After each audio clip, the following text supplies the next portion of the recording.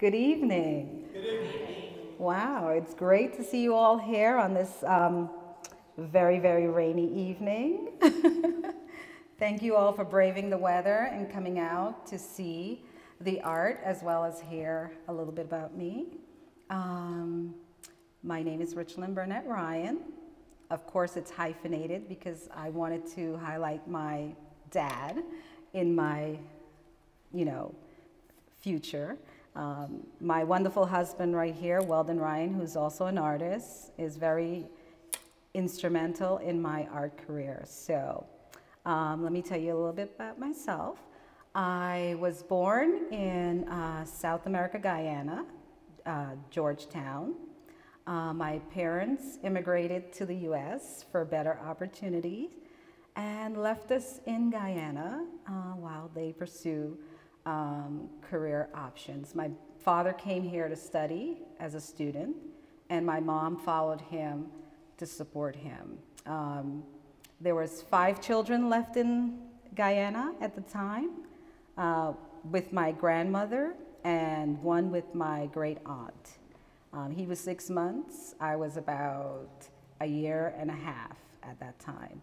So after growing up in Guyana, the whole family came and settled in Brooklyn, New York. So, I'm sorry, I have to get this.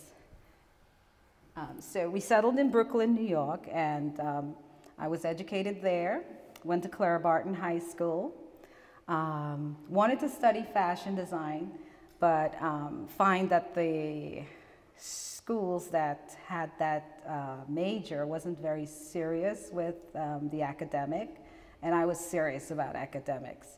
Um, so I transferred to Clara Barton High School, which was the high school for nursing, where I was in the uh, Macy's Foundation program, which is equivalent to like IB um, today. And I graduated there and then went off to study graphic design at uh, Rochester Institute of Technology. Um, at the same time I was leaving for college, I met Weldon. Just about, I would say, a week before I left to go off to college. My plan was to go off to college and be free and experience life and, you know, do all of that. But I met this amazing guy who had the foresight to give me his promotional card with his illustration on it. And do you know what a hook that is? It was a hook. I went out to dinner with my friends and I couldn't stop looking at this piece of artwork. And then we continued to talk to each other over the phone. I think we had maybe one date before I left for school. He will tell you later on about that date. It was an epic date. it was an epic date. But anyway, we, we, I went off to college. I studied graphic design at RIT for two years, then uh, got an internship with Eric Maurer and Associates, which I was, I had my career planned out, um, but life had my life, you know, the universe had my life planned out. So meeting Weldon was amazing because I was done with guys. I was just going to be career. And I met the most amazing person in my life. And I was smart enough to recognize that because I could have blown it. But I recognized that he was, very, he was an amazing person, so I, I kept that going. And so after two years of Rochester, I moved back to New York, decided I was going to come back to the city to live with Weldon, and I started going to SVA, and then life hit me. My brother was taken, my youngest brother, who was very close to me, um, was taken uh, violently. Um, so it shook our entire family because if you know anyone who's Guyanese, we're engineers, doctors, lawyers, uh, you name it, we're reaching chemists and those sort of things. And my brother was very talented. He was a uh, mechanically inclined, but he didn't have the focus of where to go because he was the youngest. So he wasn't a bad kid. He was just into music and that was his focus. And of course, back in the, that time, music was not a safe career option to be in because there was all these elements. So it took him somewhere where his, he was taken from us. So it shook the entire family, and I decide I stopped going. I, you know, was uh, took a pause from school and decided to focus on other things. And I, Weldon started police, and he asked me to marry him. Started our family, and um, the kids came. So my career was put to the back. Um, after the kids were at a safe age, which for me was five, I figured as, as long as kids can talk, they can go out and they can tell me if anything's happening that I don't agree with. So at five, I started going back into the workforce and I landed a job at um, um, Thomson Financial, which is a huge um, information publishing um, corporation, which dealt with a lot of the financial market. And I started as a graphic designer doing news um, newsletters, which is at the bottom of the level, entry level. And I quickly got a promotion as an art director for one of their publication, one of their oldest publications, um, Investment Dealers Digest. I hope I'm not boring you. So that's a little bit about me. And then after um, doing that, I then 9-11 happened. We had our 9-11 baby. My husband retired, and we moved to Palm Coast. And that's where the real creativity started because after the kids were grown, we started um, focusing on Weldon's career as an artist. And then I kicked in after my last daughter graduated and started moving on to the secondary education level. So um, I'm going to tell you, so we started doing art. Um, I started really late, uh, 20, 2014, 2017, started experimenting with collage using Oprah magazines uh, to do a couple of pieces. And then I found some tissue that was left after gifting. You know, we always put away things. Maybe I'll use it again, maybe not. And so I said, what if? What if I took this tissue and use it as my color medium. And I laid it over some black and white imagery with a, uh, using the collage technique. And I got really good response from the pieces I created. Of course, I had a graphic sense, so creating art was nothing new to me. So when I created the first pieces, and which you will see later on, I usually start with a black and white, which is this piece here, then start adding color with the color tissue. And it's progressive and it's really organic. I don't have rhyme or reason. It's what I feel. You know, it's really expressive. And I give myself the permission to make mistakes. Um, and, you know, the piece may go all the way to the, to the end and it may not be successful, but at least I allow myself that space to just create freely because it's important to me to give myself that space. So that's the joy of me creating, not uh, wondering and stressing over the outcome, but just the, the joy of doing it. So that's how I usually do it. And my medium is tissue acrylic, usually use just a regular glue, Elmer's glue. Sometime I adhere the, the tissue to the canvas with just water. And and it just it's it's a very organic flowing process. And then when the tissue dries you get some incidentals. So that's even amazing within itself. Um, so now i'm going to show you a little bit of my work. And these are some animals now this is a piece which this was one of my first pieces i did when i started doing art 2011 um, I just entered the uh, Flagler County um, Art League's, one of their competition, and this one was called Color Splash.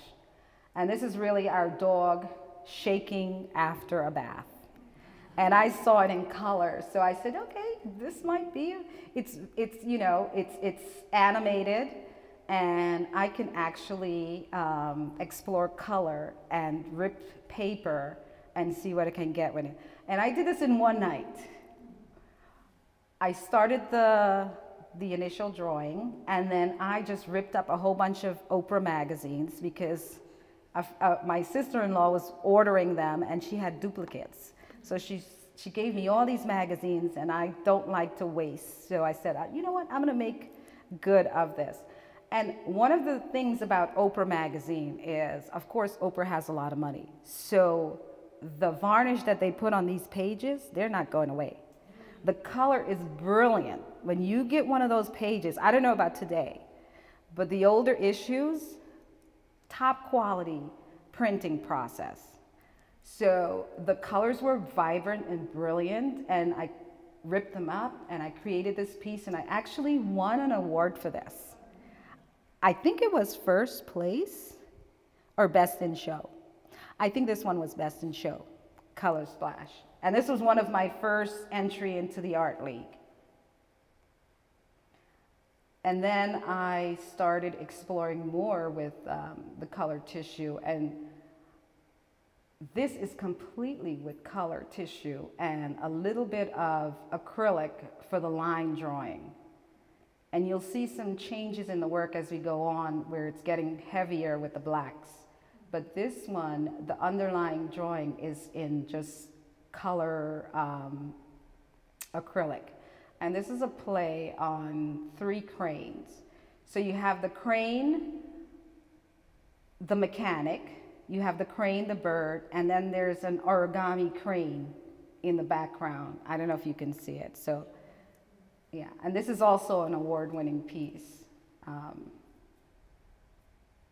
and that was 2016. And I did that and this piece at the same time. And you could see the relationship as I worked in succession with pieces, you'll see that they relate to each other and then there may be a jump in a little bit of the technique I'm using. So this is, again, color on underlay um, with the line work and the dots.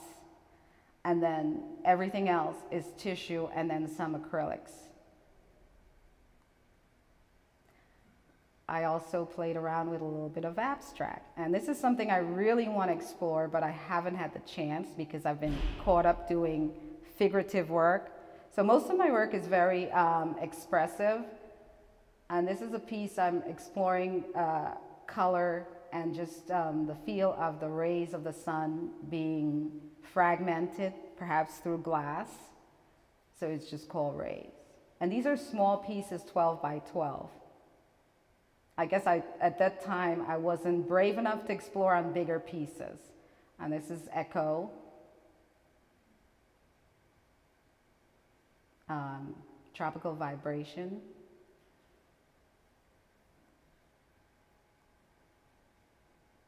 And when I really got it started is when uh, my husband and I opened our own space, our own gallery, and so there was actually room to explore larger pieces and um, just to ex experiment. So these are the florals.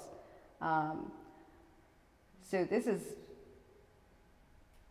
water and uh, tissue and experimenting with how the overlays of different colors on top of each other creating uh, contrast and um, it was really really fun exploring this medium and I'm still exploring it. Um, from day to day, I would learn something new about the medium, whether it be the glue I'm using, the water technique, or the, the manufacture of the tissue might be a little bit different. Some of them use wax over the color, some of them don't. And whether you use the, the front or the back of the tissue give you different, um, different results as well. So this is Tulip Dance. This is Fiery Tulips. And these are small works. They're not too big. They're 20 by 16, so.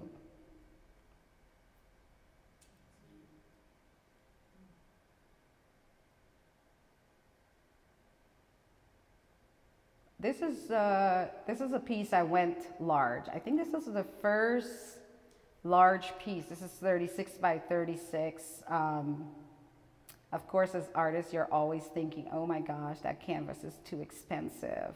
I'm not going to do that.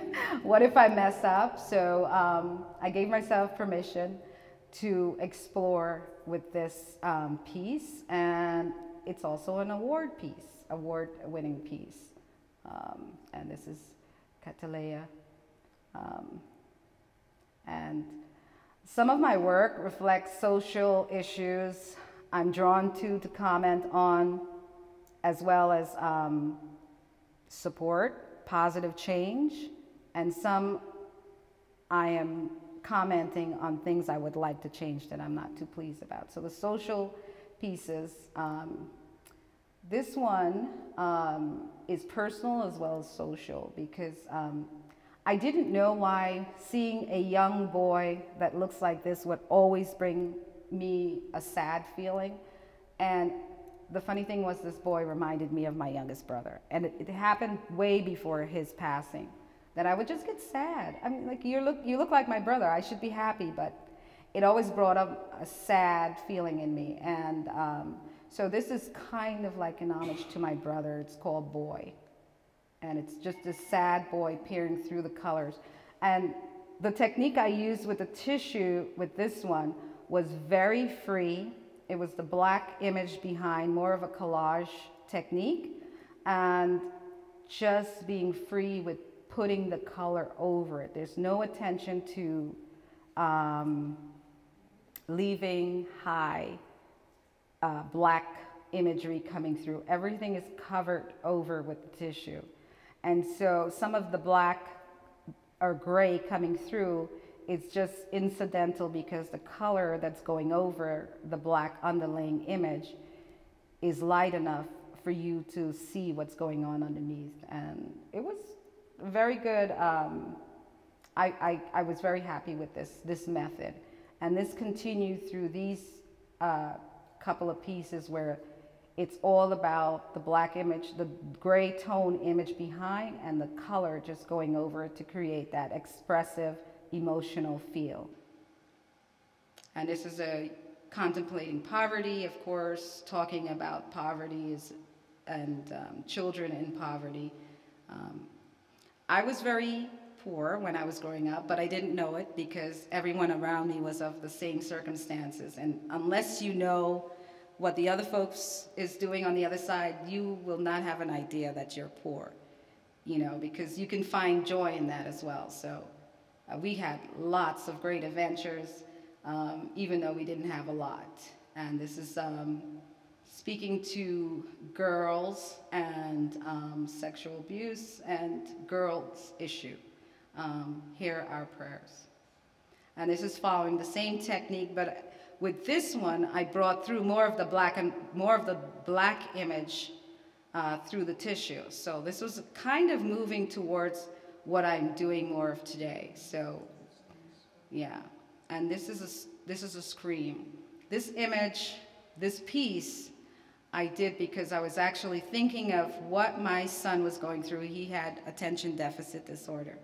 Beautiful kid, incredibly brilliant, amazing photographer, amazing artist, amazing musician, and yet every, every single teacher or academic um, opportunity was hindered by him not being able to learn how other people how other students learned.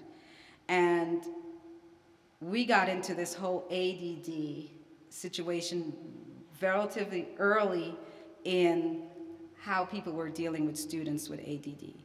I had to create my own curriculum for him, pull him out of school in New York, brought him down here, still had issues, and I think he taught us more than we taught him because he taught us, both my husband and I, how to fight for him. And it, you know, it made us better people. So this piece is really about him screaming because he's an amazing person, but everyone was focusing on how he wasn't learning the way other students were learning and missing the opportunity to see the beauty in him. So this is a scream. Um, and I sort of pulled in Munch's piece, the scream as well. And you could see that the movement of the paper as well sort of emulates that whole thing as well as the, um, the pose of the, the subject. And um, of course, this is in 2016 after the election. Didn't know what to do after my hopes of a woman president. Uh, you know, it was so sad. We didn't know what to do. So Weldon, myself, and some other artists decided, you know, the only way to communicate our emotions is to create art. So this is a piece called Not America. And it's subtle. I could have screamed in what I was trying to communicate, but I just decided I would be as subtle with it. And it's just a Statue of Liberty, but the um, inscription on the Statue of Liberty, everything is in the negative so that it's not America. We don't want your, your, your tired, your, you know, and she lays down her torch at the end of the, uh, the whole um, ins inscription to it.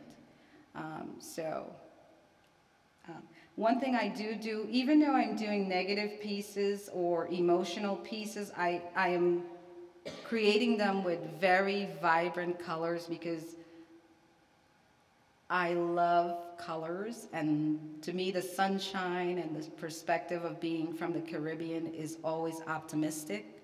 So I don't really enjoy just going completely moody and mud, mud colors.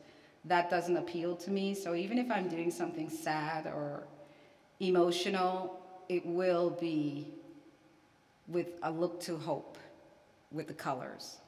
Um, so I will communicate with some dark, darker tones, but I do like to include um, the bright hues.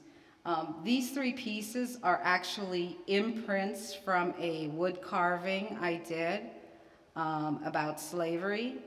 And so it's just um, a imprint and communication about how even though we've gotten out of slavery, there still remains the, the uh, remnants of the systems that came into effect after slavery was abolished to keep people still in, in um, slavery. And it's, um, you know, the prison system, um, just the educational system, and just how we relate to the, to the woman. And you'll see the, uh, the, the sculpture I did after that. And this is Rosa Park. And I'm moving more into a heavy black um, rendering of the image and then the, the color overlay. So everything in this piece, tissue is over it, creating simultaneous contrast uh, with the tissue going over the black. Um, this is another um, social piece. It's Angela. And I just saw Angela as an icon, so I wanted to duplicate that by just creating an icon is something, you know, it's a brand, so I just wanted to do the imagery over and over. And this is one of the pieces where I did the black and white. It was just a line drawing. And of course, Weldon saw the piece and said, you know, uh, I like the line quality. So of course, myself, I needed to explore the color with the line and perhaps some, some um, solid um, shapes. And so I had to explore it. So that's why I continue to explore the image in smaller, um, iconic pieces of Angela. And so this piece, you know, um, it hangs where the black and white piece is behind, it's 48 by 48, and then all the smaller pieces are over it. So the, the idea behind it was as I wanted it to be an interactive piece, so if a person bought a piece, that piece needs to go as it's being bought so that it would reveal the piece behind. And so the piece behind is called I Am, and the little um, pieces in front is called Angela, and those are the 12 by 10s. And um, this piece is My America, and this was done for the Ritz Museum at the Ritz um, Theater and Museum in Jacksonville. Every year we do a collective project with um, a group of artists, and we're giving a prompter, and there's no, um, no restrictions. Of course, there's probably size restriction, but there's no restrictions. You're free to go and explore your creativity and, and create something that communicates the prompter. So this one was um, uh, uh, uh, through our eyes, um, dealing with South Africa, because South Africa, um, Mandela City, Mandela Bay is um, Jacksonville's city, uh, sister city. So there was a exchange between the two artists. So we created art and then after it showed in um, Jacksonville, it would then go over to um, South Africa and uh, be installed in their museum for, for a time being. And this piece went over to, it, of course it was juried in, so it won uh, a chance to go over to South Africa um, just in time for Nelson Mandela's birthday um, celebration. So it was there from 2018, late 2018 to uh, 2001, I believe. It just came back. So this is one of two pieces, and this is um, My America, and this is Nelson Mandela's South Africa. And it just showed the relationship between the struggle for, for human rights between the two countries. Um, and even um, the support of a lot of Americans for South Africa to get its um, equal rights as well. And um, recently, after the immigration crisis at our borders, I felt, uh, let's see, I felt strong enough as a mother that I knew from my mother the sacrifice she had to, to put my mother and father to come to this country to make a better life for their children, what a lot of the, the um, immigrants who are coming to our shores are going through and how brutal it was for anyone to separate a mother from her child. And so I felt I had to say something. So I just started doing mother and child pieces. I had no idea they would show or anything. I just said, I, you know, I really need to put this on, on, on the canvas. So I just started doing some mother and child pieces. And you can see there's more heavy in the black. I'm leaving some of the black exposed and the color around it. And I'm still working from black to color with these pieces. And this was in 2020, working on this piece during the pandemic. Um, so I did several pieces, mother and child, just exploring the love of mother and child um, with the work.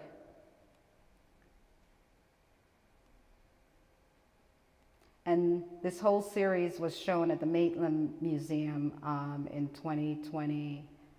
Um, they had a mother and child exhibit. I didn't know they were going to have one, but my work was perfect, so I had an entire room to my, for my pieces to be, you know, exhibit there, and it was really, it was really wonderful to see that. Am I going the right way? My love. Okay, now this year, after everything, I'm still, you know, artists are, you know, of course, we, we feel what's going on in, I'm sorry, we feel what's going on in the community. And most of the time, we're trying to make some sense of it, and usually it comes out in our work. So this year, I didn't know what to do. I, I said I could um, perhaps scream, do some, you know, what can I do? And I, I've been hearing more and more that love is the only thing that can conquer hate. So I just decided, um, how can I express love in its more stripped down form? And listening to my mentor and husband, he kept saying every time I do a piece and I do the black and white, he goes, Are you not going to put color on that, are you? So I, I listened a little bit and I decided I'm just going to do black and white pieces. And so this year, I did just a series of My Love. And this is a portrait of Weldon, because I've never done a portrait of him. Never. so this is my first portrait of Weldon. I've done the children, but never Weldon. And this is a portrait of um, myself, my oldest daughter, and my son way back when. Um, and these were actually sittings we did for Weldon's portraits, but he has never gotten to them, so I took privy and just uh, decided I'm going to take them. So, um, and this is one of him and our daughter. And I started trying to explore with some patternistic backgrounds in the pieces. Uh, if I can't do color, maybe I can do pattern to create some sort of excitement. So um, I am a graphic designer and some of the motif of fashion, um, love fashion as well. So I, I'm exploring with a couple of pieces of using patternistic backgrounds in the piece as well as just using the hard black and white. And these are large pieces. And Dear Land of Guyana. uh, this year I was asked to do a couple of pieces to enter into a show about Guyana because of the, um, the political turmoil in the country. Um, uh, a gallery in Harlem wanted to do a, a art show for Guyanese artists talking about their experience in Guyana, uh, memories. Um, and so I really wanted to explore this because Guyana is dear to me. Um, it's a place I was born. And this is called Lime Street Yardies. And this picture has um, all my cousins uh, from my father's sister, my father's two sisters. So one of them have two children and the other has three children. And then my mother and father has six children in this photo. And we all lived in one little house. Except for my youngest brother, he lived with my aunt. So in this tiny little house, all these kids were being raised. And this is also tying into the immigration story of the sacrifice a lot of people in those developing countries have to do in order to come here. It's not an easy decision to come to America. And this is um, Market.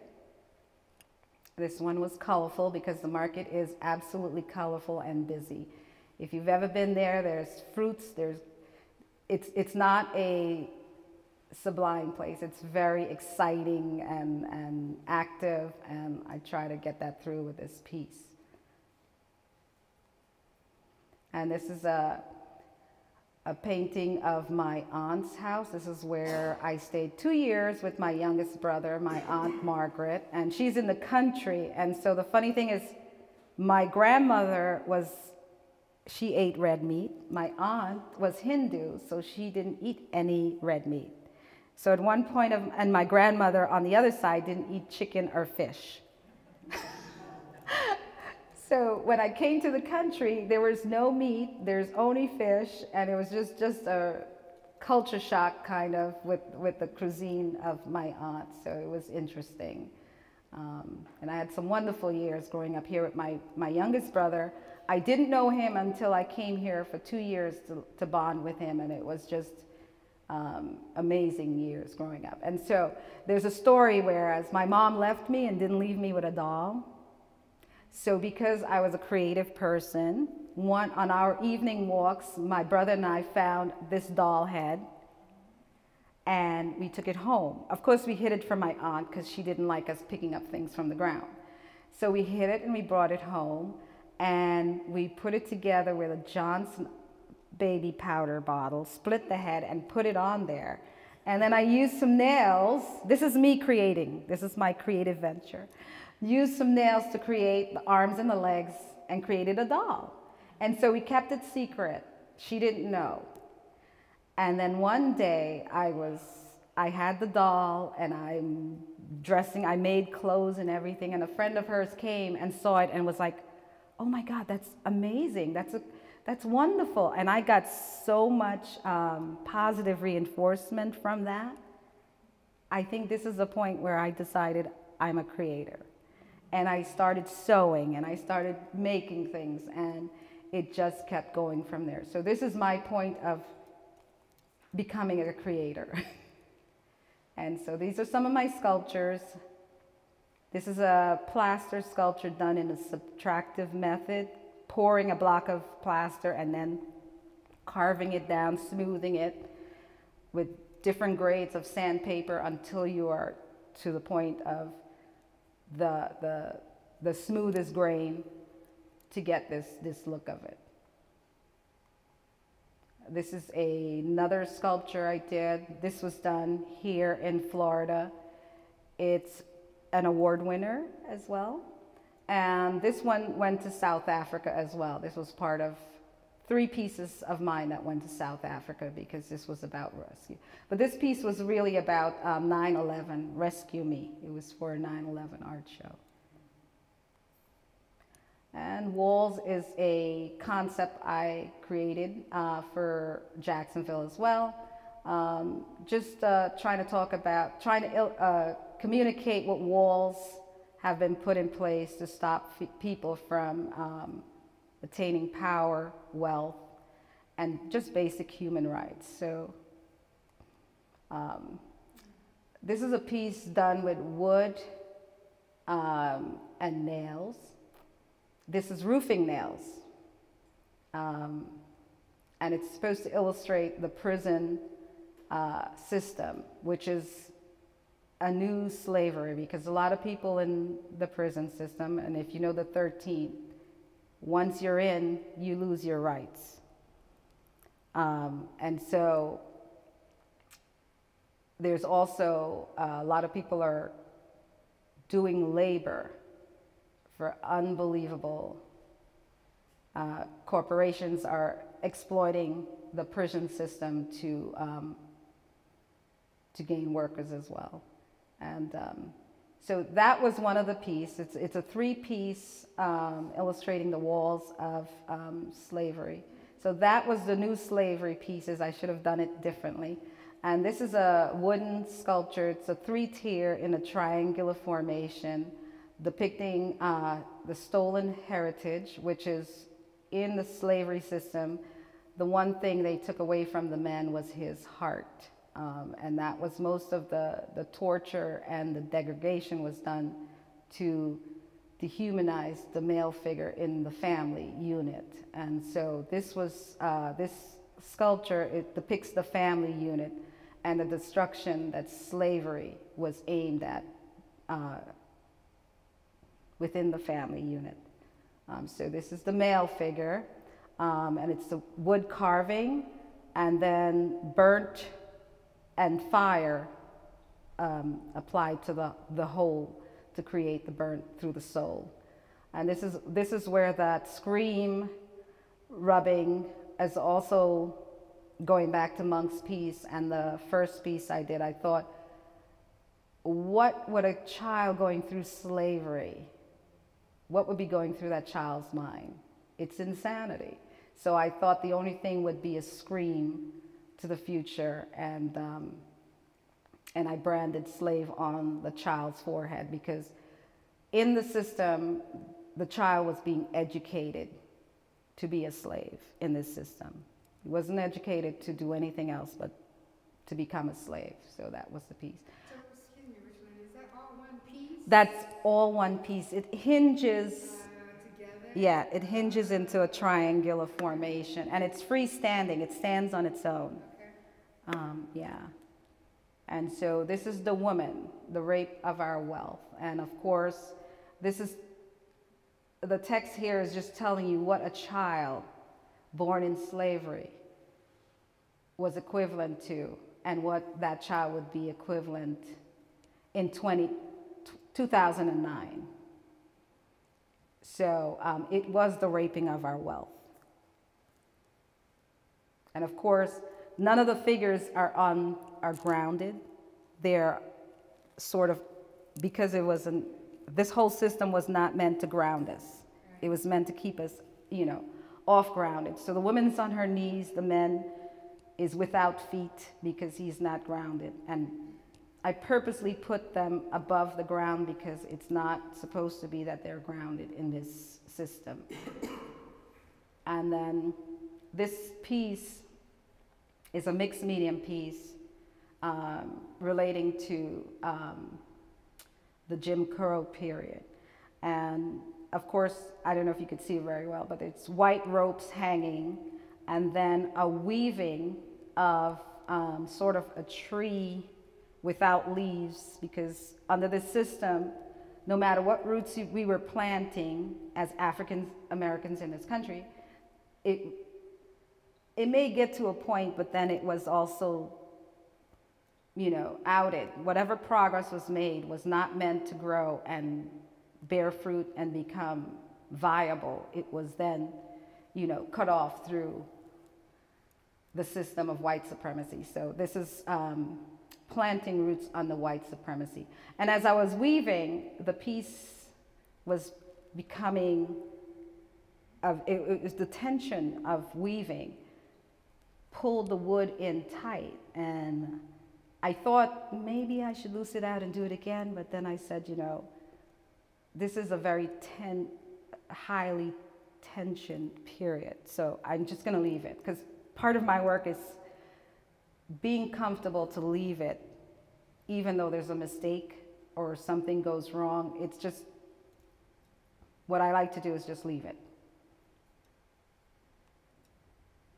And some cityscapes. So these are two um, depiction of the Brooklyn Bridge. When I did it, I didn't really realize what I was doing, but one piece after I finished looking at it, it was actually what was happening when I, when the Twin Tower fell and the Brooklyn, going over the Brooklyn Bridge to escape. I was down there when the first one fell, running towards the Brooklyn Bridge. This is basically what the Brooklyn Bridge looked like from the Manhattan side. It was just black and white. And then as, as I made it to the Brooklyn side, as the smoke cleared and the second tower came down, and I'm making it through the, the center of a, the bridge, the sun was out. It was a beautiful day, and I was making it safely to Brooklyn. So this is. And then another project I did was the Keisha Project. Um, the name Keisha is an American made up African American name. And the question was, who is Keisha? And so I found that uh, Keisha is a, is a reclaiming name. It's a name that we decided we're going to name ourselves outside of the names that were given to us. So Keisha to me is a power name. So I saw my Keisha as myself and some of uh, the artists that I've come across um, doing curating. So some of the artists on this, and some people may know some of them. Alice Walker was a was sort of the elder in our community of artists, and she passed away. And she was an amazing artist, um, sort of an outside artist, you would say, because yeah. she was very. I mean, some of her work was classic art, but some of it was very outside, and she was always experimenting with different mediums and she was awesome. She was she was she made it close. She almost made it to 90. She was just approaching her 90th birthday before she, she passed away. So I was just giving, and I did this before she passed away, and I was looking around for her to say, Alice, look, I did a piece with you, and I never got to show her the piece. She passed away before, and you know I put her on the top because I was giving her her dues as the elder with all these female artists, and I was paying homage to all the female artists I've come across. So there's Joyce Hayes is there, um, um, um, um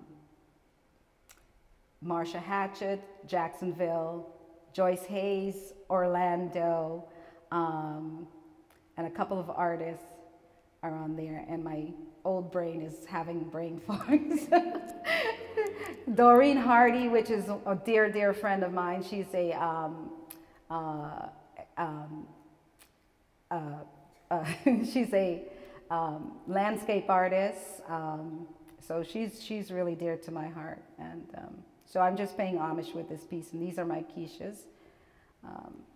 Um, and then, of course, a portrait of uh, Reva Ryan, who's a law student, and she's always trying to find ways to support the community with her, her skills. And so this is her piece, Justice. And of course, my strong-minded child, I, uh, Savannah, who is a coder and artist, um, and she has an awesome personality, and I hope you can see it through this piece. And some of her artwork is also on the side of this painting, so it was um, definitely paying homage to her. And of course, this is something I did this year. Um, and it's a self portrait, but it's also because I'm alive. After 2020, anyone who's still here should live life like there's no tomorrow. And I was just enjoying, you know, my afro, my hair was doing great that day. and I was just having a great time. And Weldon snapped some photos, and I, I love it. I love this piece. So I had to, um, I had to do this. And this is just a self-portrait, and this is cool vibration. A photo I wanted to do a piece with. I did a black and white, and I, I wanted color in it, and I did another color piece of it. So.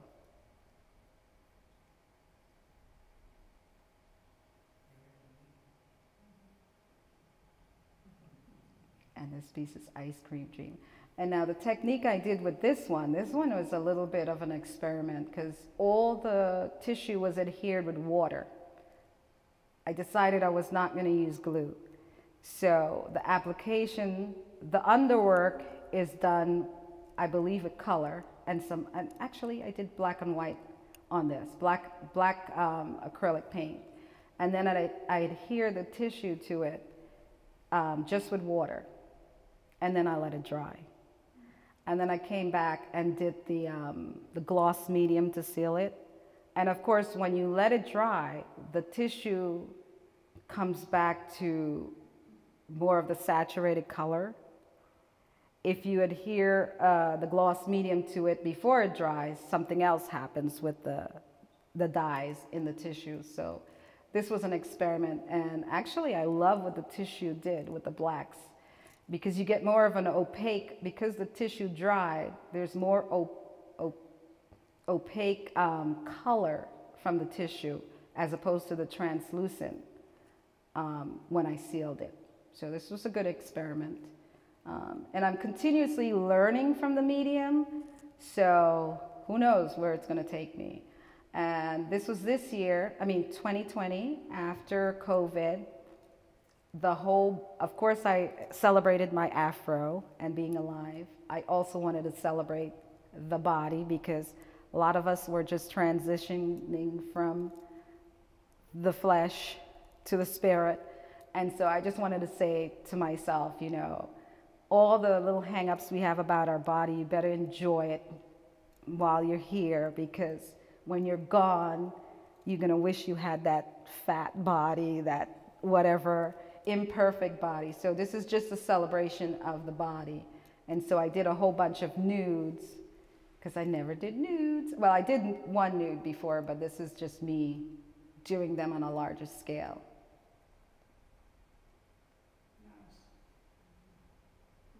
And they're, they're pretty big and pretty bold. So I, I really was trying to put it out there. And this is a diptych.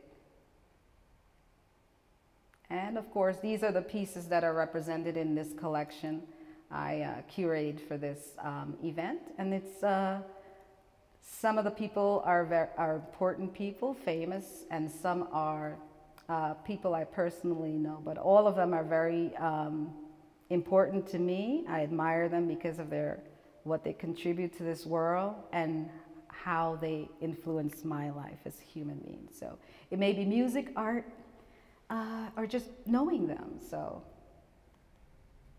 and of course, I love Nina Simone. and of course, I had to do her twice because uh, Nina had two, sort of like two lives.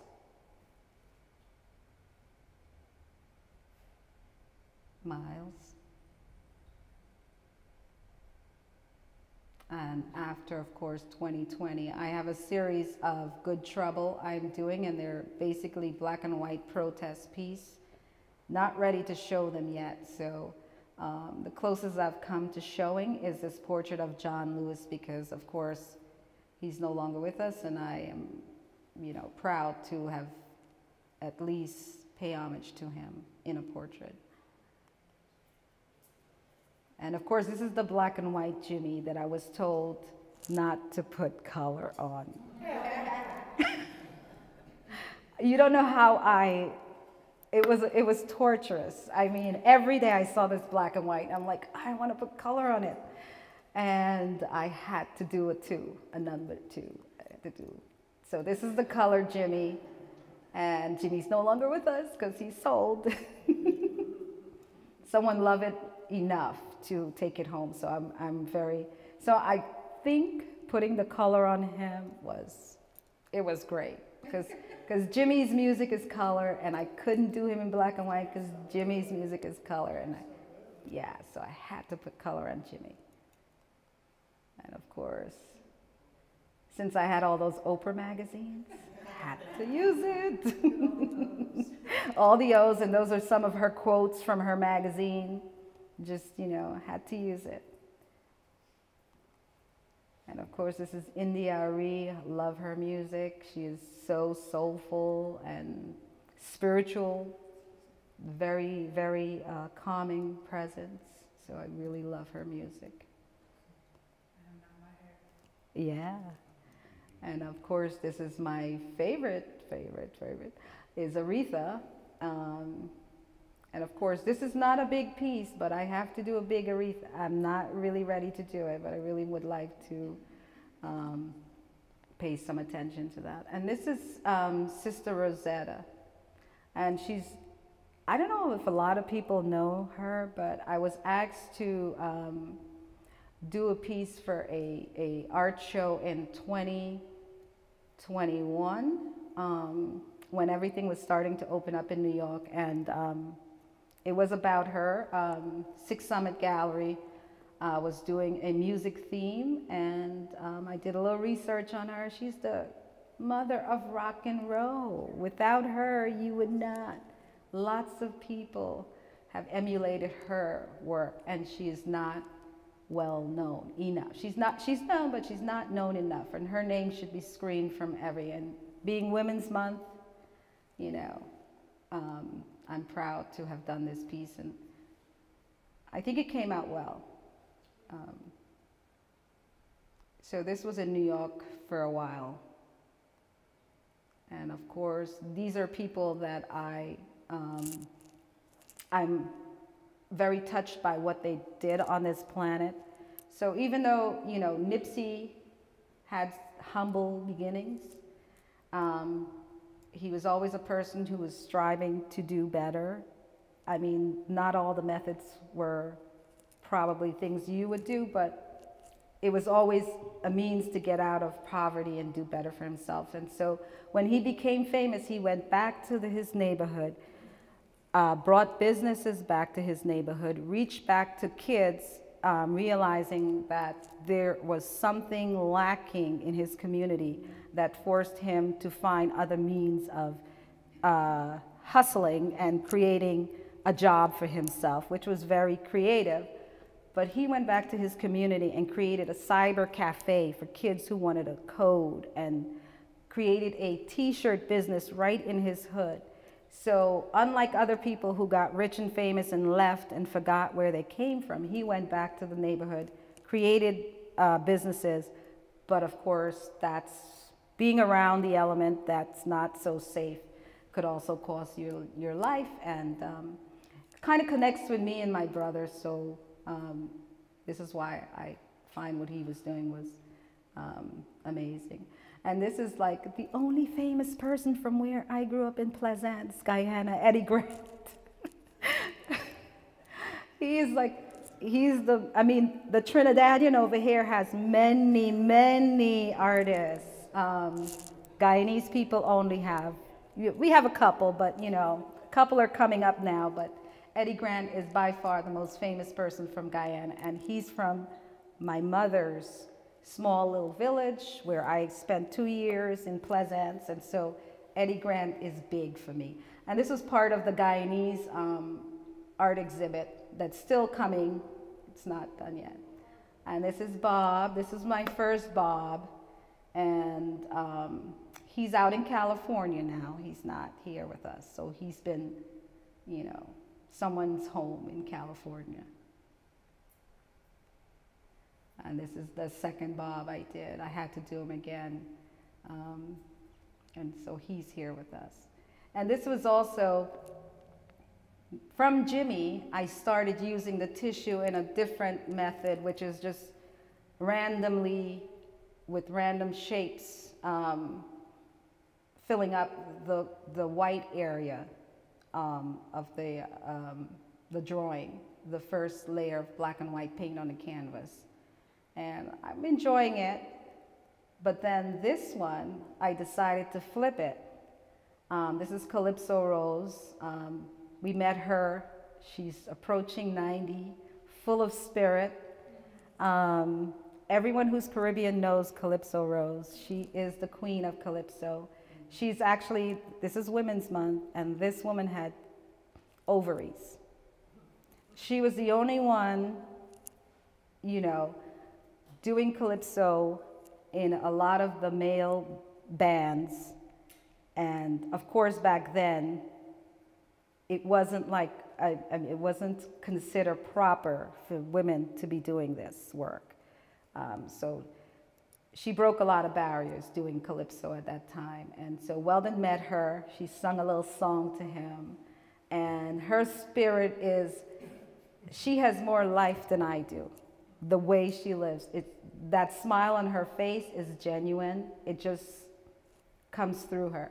So this piece, instead of doing the black drawing first, I did the color. I applied the color to the entire canvas, and then I went in with the black and white. So this was a reverse um, technique I was using with it. And of course, this is Billy. And the last piece in this is Diana. And so after doing all that work in 2020 and 2021, I decided to give myself a little bit more work and challenge. I decided I'm going to do a 100 square project, a 100 um, paintings on six by six canvases. And this was an effort to inspire people to collect my work because um, one of the things is because I'm working so big, the price value was um, a little bit out of some people's reach. And my goal was always not to lower the price of something that I really worked hard on and it has value, but to allow to do work so that people who are um, thinking and wanting to collect the work could afford. So these little pieces was um, sort of to encourage initial collectors. And so I said to myself, you know, I could do 100 pieces. It's small, it's less work. No, it's not. it's not less work. It's actually taking me longer to do one of these pieces than perhaps a larger piece because the freedom how I move on the piece is constricted to doing these tiny little stroke and you have to figure a big piece of tissue over the piece will just be done. And the nuances will never be captured unless you're using little tiny pieces. So most of these are done with just acrylic and black, black and um, color acrylic. Some of them I'm using tissue in some places, but it's all, it's all fun, it's experimental. And some of these pieces I will do big. Um, some of them I've already done big, and some of them are just studies of pieces of paintings I've done. So, um, oh, and I'm also offering, I'm old, I'm old. So, you know, I've always tried to keep ahead of the curve, trying to do things that are, you know, innovation. And so this NFT world, intrigues me. So I have a mentor of ours um, who is venturing into that. And I was always, I'm act- I was actually trying to encourage our kids to get into NFT, and none of them were budging. You know, um, non fungible tokens. And these are digital artwork um, with smart contracts um, that um, are offered on in the cyber world with cyber with cryptocurrency. Um, there's a whole bunch of things you have to go through in order to purchase one. Yeah, but it's it's it's. I have to tell you, it is here. It will be here, and it's not going away. So most of the major galleries are have already gotten into NFTs. So if, if everyone's telling you it's it's a fad, it's not because a lot of the cryptocurrency millionaires need to spend their money on things they can buy with cryptocurrency. I mean, they can transfer it into dollars, but dollars are, we are going to the next step. And every single major gallery has a NFT collection, have NFT artists, or are offering analog art as NFT.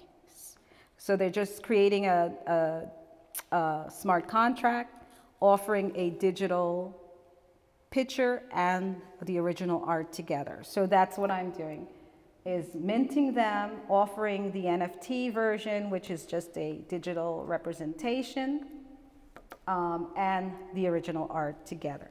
So forever, if I offer one of these pieces as, as an NFT, in order to transfer it, you have to transfer both of them together to the, to the next collector, to the next buyer. And those digital sales, every time it transfer from one hand to the next, there's a record of it. So a lot of artists would sell their work and that's the end of it. You don't know where it's forever. With an NFT, you know where your work is, how many times it's been sold, who it's going to and if it stops being sold and it's in a private collection, that's the end of it. Um, also, in the smart contract, there's residuals. So you get a percentage of each sale. So it's really. So every time transfers, you get, you, get um, royalty. Yes, and it's how you make your contract. You can say 10%, 5%, 2%, 3%, 1%. It's how you write the contract. Excuse me? It's forever. As long as it's been transferred to another buyer and as and as the value of the NFT goes up, of course, percentage of that value sale goes to you because whatever percentage you wrote in the contract, that's what you would get. I don't know, things may change, you know how things go, but that's how it is. And that's pretty much it. Um,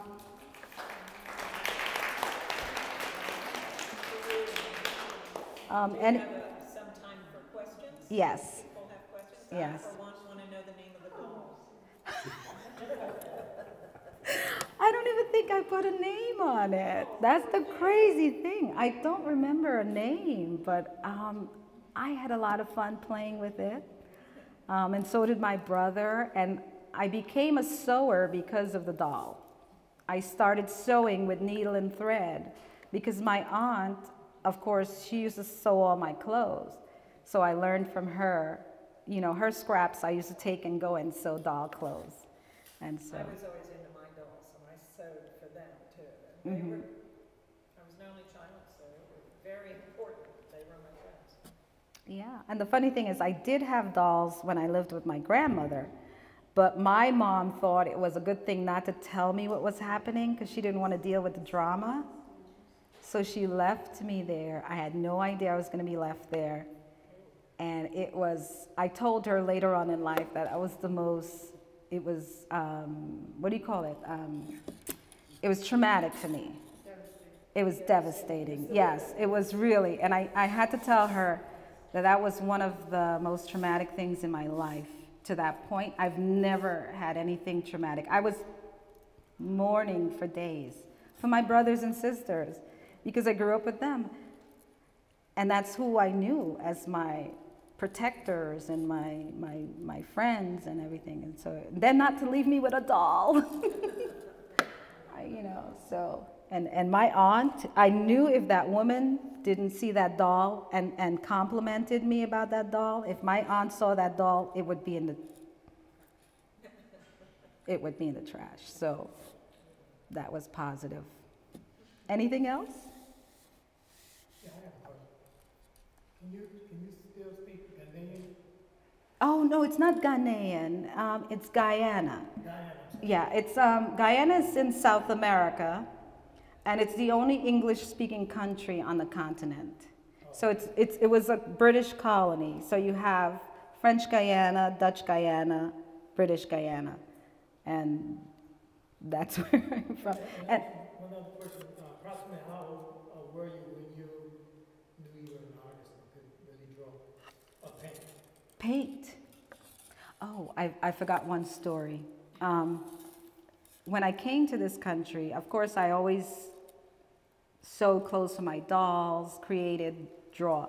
But what I used to do was take um, composition notebooks, rip out the pages, take the um, hard surface, and create little houses out of it. And I used to draw wallpaper, put the furniture in, put people in, really great pieces. And an aunt of mine who was teaching at um, Penn State, she was an artist. She saw the work and she says, and she um, exhibited it at some art show. Of course, I never got to see it, but it was there. So that was another reinforcement for me that art is valued. And so with the doll and then someone appreciating me doing the crazy thing I was doing with the notebooks, everyone thought it was crazy, but I was doing it because it was interesting to me. She appreciated it and um, exhibited it. So I didn't get photos, I didn't get anything, so yeah, but that was about maybe 12. Mm -hmm. Yes. Yes. Um, What's the, fir- when you start with a photograph and transfer it to a canvas, to a graphic, a black and white graphic design, what's the procedure to, to transfer it? Well, because I do a lot of digital work, so I would just um, digitally take out all the black, take out the, all the sort of design it on the computer. Right, so I would take out all the gray tones. I would, first of all, make it a black and white, take out all of the gray tones, and just, I play with the, the, the, the um, tonality, you know, the contrast, and to the point that I like, and that's what I then use to, to transfer it to the canvas. And then you'd actually use acrylic to paint it Yes, to paint it. from the transfer. Mm-hmm, mm-hmm. Yeah. And then there's the color and experimenting with it. So, yes. So when you take something like the Statue of Liberty, you, you're taking a picture of the Statue of Liberty and, I mean, And manipulating it. Uh huh. Mm -hmm. And it could be before the computer. One of the things I used to do is take things and photocopy it and then cut it out and then transfer it to, in a collage method, to the canvas or the board or whatever, and then work from there. Before that, I used to, I, I used to do this before. I think I was destined to do this, this kind of work because back in college, I used to photocopy onto transparency um, and then lay that over color swats, color blocks, and then color copy that. That's before the computer, before everybody had a computer, and then color copy that and print it. And so that's how I was getting finished pieces of work. I would even um, photocopy things like spoons and stuff on the photocopier, print it out, cut it out, manipulating the, um, the image that way. Mhm. We have time for one more question, and then we have time for. Okay, I got another question. On the Statue of Liberty, uh, can you tell me what the poem was about behind it, or give us a commentary on it? Okay, So everything that the, you know, give us you're poor, you're tired, you're hungry, it says do not. Um, everything was in the negative. Basically, what we were saying to immigrants that were coming to our shores do not come. And of course, at the end, where she holds her torch in, in, the, uh, in the bay, you know, she lowers her torch. And it would be cool to perhaps illustrate it if I was, if I was an illustrator, but I, the piece also has hope because it's just talking about what we are at the moment. I don't believe we were going to end up being that forever. So, like I said, all my pieces, I really want to leave hope. Even if it's something that's so bad, I really want to leave hope because I'm, When you're sitting home at the table thinking about this kind of stuff, like, but yeah, I love imagination like that, you know?